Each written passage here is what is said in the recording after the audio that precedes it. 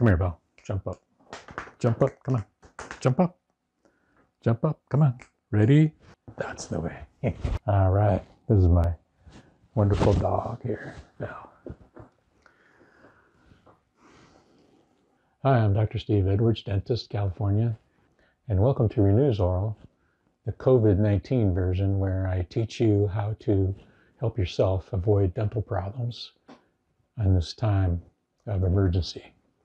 Uh, right now, who needs another problem, right? Nobody, especially a dental problem, uh, especially knowing that about 80% of dental problems are preventable easily. So, all through my career, I've been trying to help people not have dental problems. And uh, I've probably I've probably seen about 68,000 patients in 34 years. I've probably only been able to really educate maybe one a week or so, and that's pretty bad, you know, because uh, uh, it just it's it's the dental office is inefficient for education. I, I think of it this way: it's really it's it's really nerve wracking at the office. Um, patients are nervous and worried and frustrated that their insurance didn't cover anything, and the fees and, and missing work, or they have to pick up their kids, they have to go somewhere, do something. So uh, nobody's ever really super happy at the dental office. Well, I gotta admit, uh, I have made a number of people happy, fixing their smiles and so forth. But I mean, in general, people don't really like uh, going to the dentist that much. And so 80% of most common dental problems are easy to prevent. Easy, easy, easy. I mean it. And uh, but you just have to know certain things. And it's not oral hygiene, by the way. And oral hygiene is really the, the most uh, dumbed down, simplistic, uh, dangerous actually thing you can do. It's, it's the most minimal thing you can do. And you never get anywhere by doing the most minimal things. You always get somewhere by doing better and exceeding and giving 110% and so forth. So why would you do only the minimum for your oral health and end up having to spend money every year and fixing stuff all the time.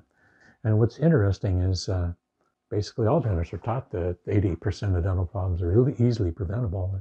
That's why dental insurance hardly covers anything anyway, because dental insurance even knows that most dental problems are preventable. And uh, so why should they bother covering them, right?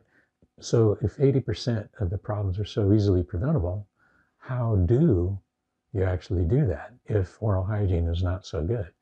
Well, here's the secret I've been involved in fitness ever since I was a kid, climbing trees. And uh, my dad used to lift weights, and we used to work out together in the basement. And uh, I lifted weights with him starting in like seventh, eighth grade, seventh grade. Um, and then I got into high school, and I ended up in the 300 club. That's where you bench press 300 pounds twice. So for me, fitness has been kind of part of my life, even though for a little while it did like a lot of people did in the 70s. Uh, uh, took some illicit substances, uh, smoked for a while. Uh, actually smoked until about 1994. And, uh, but you know, I never really saw myself as a smoker. And even by the, by the way, I was, I was, I was smoking, but I was still exercising. I was still going to the gym. And it's kind of funny. I mean, I would go to the gym, work out really hard, and then the gym was right uh, next door to a brewery.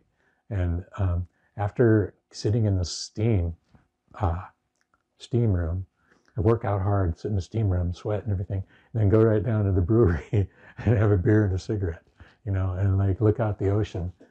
Uh, but you know, I didn't really see myself as a smoker, and I knew it wasn't really right, and so I just eventually just stopped. Um, so I'm not perfect. But the point is that fitness has helped me uh, and a lot. And I even joined a fitness transformation, which I could show you some pictures sometimes, kind of cool. Um, I changed my body in about 90 days. It was amazing. The point is that fitness is known to to mitigate many diseases. Even if you have diabetes, it's, it's, it's good to get exercise because that exercise can help to minimize the the effects of diabetes. So I decided back in about 1994 or so that I would apply my fitness concepts to oral health. And that suddenly opened up a whole new world to me of oral health. And prior to that time, I was trying to teach oral hygiene. And all I was doing was pissing people off, really, because hygiene is kind of uh, insulting to talk about. But when you think about fitness, let's say you meet somebody on the street you haven't seen for a while and you say like, "Hey, Jane, uh, nice to see you. You're looking great." And Jane will say like, "Well, yeah, that's, uh, but I, I, still need to lose a little weight here." Some Jane doesn't say, uh, "Yeah, but I still stink and I'm still unhygienic." You know, nobody says that. Um, so people willingly and openly talk about fitness, and they're always looking for fitness ideas and tips. Um, how many fitness and shape magazines do you see in the supermarkets? Tons of them. How many hygiene magazines do you see in the, well, in the magazine racks? None. Because hygiene is like, so then what is dental fitness really? Well, dental fitness is the application of physical fitness uh, concepts and exercise physiology and everything that goes with fitness, like sports and nutrition and supplementation and uh, even rest and recuperation. Um, avoiding injuries, stuff like that. I mean, I see tons of injuries on teeth due to overzealous oral hygiene, where people are like, like this. If you've ever seen somebody brushing in the movies, it's like they're, going, they're going like this, and they're all over the place. Uh, it'd be like working out like this. You lift up the weights and then you go like this. You know that that would be that would be the analogy. So um, what I do is I organize uh, oral hygiene into scientific principles and so forth that are focused on fitness and everything around fitness instead of just hygiene, just clean, being clean. And uh, my analogy to that is if you go to the gym and just hang out in the shower, you're not going to get fit, you know. and by the way, if you do dental fitness, you get clean by default. If you think about oral hygiene, what do you think about? Uh, you think about maybe brush, uh, floss, but nobody, 20% or 22% of people floss. Um, and most people would rather change a dirty diaper, screaming baby dirty diaper on an airplane in turbulence or something than, than, than floss. So, uh, so flossing. And then um, uh, rinsing, okay, and then maybe uh, avoid sweets. Yeah, avoid sweets. And visit your dentist twice a year.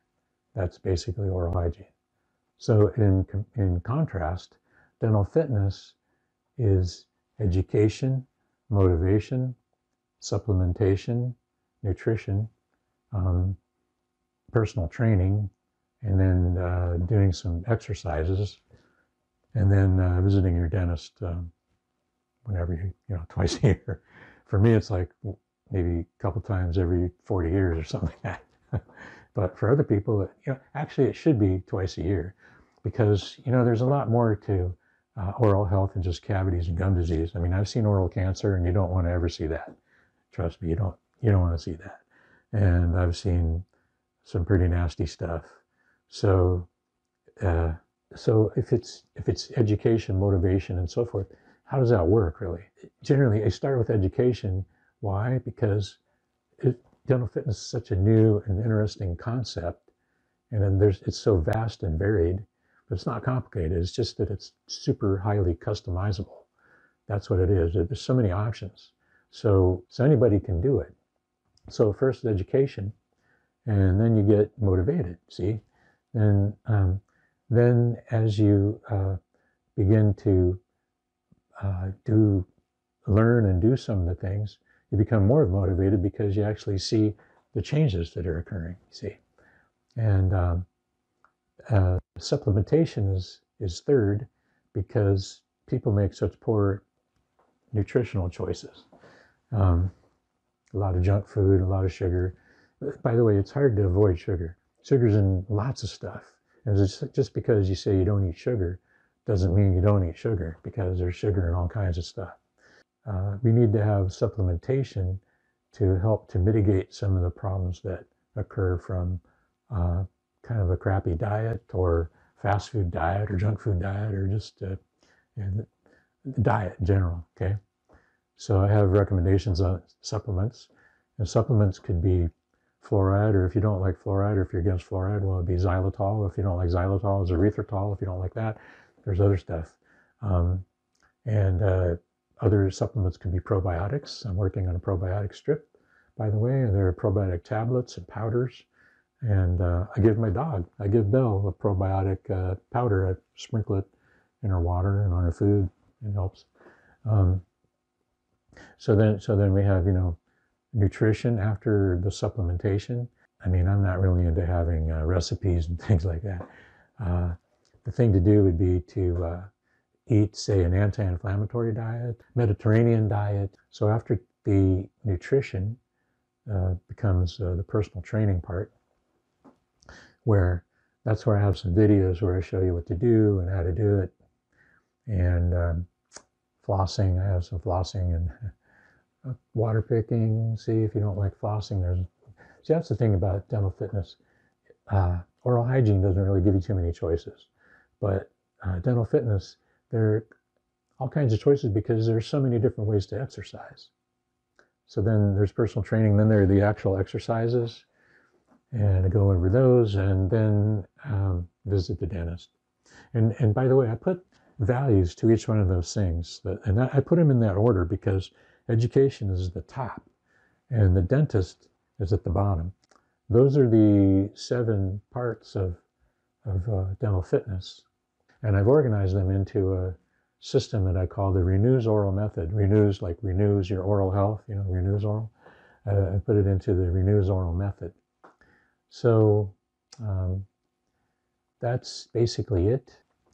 So in the next video, good luck. In the next video, I'll get into the actual meat of the meat, sugar. I'll get into the actual functioning, the RENUzORAL method, and it's it's just mind-boggling. It's pretty amazing. Um, once you see it, it will change your life dentally. It's changed changed mine. I mean, my goal for you would be to to not have dental problems. I'm going to help you prevent 80. Like I really can't say prevent. I don't. I don't think I'm allowed to say that but I'm going to help you um, avoid uh, 80% of most common dental problems.